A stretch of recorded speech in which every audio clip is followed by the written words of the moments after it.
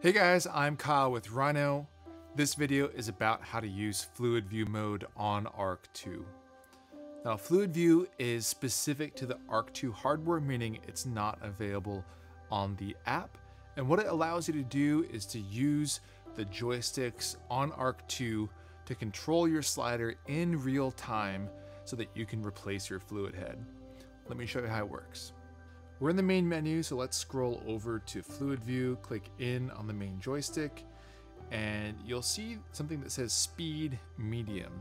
Now if you click in, you can actually change your speed to high, to low, or to medium. And what that does is adjusts the ramping and dampening of the motors to make them faster or slower.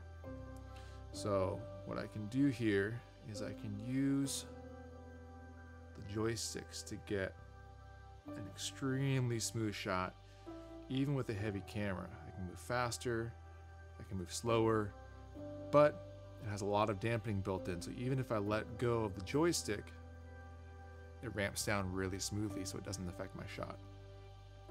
Now, this mode is primarily for using Arc 2 on a tripod. However, you can use it on a slider.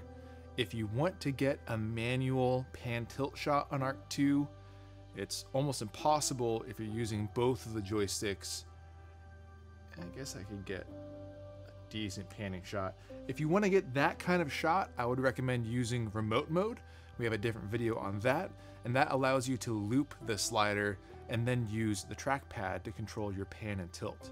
But in a pinch, if you don't have a fluid head or you just want to outright replace your fluid head, because Arc 2 does a better job of smoothing it out, check out Fluid View.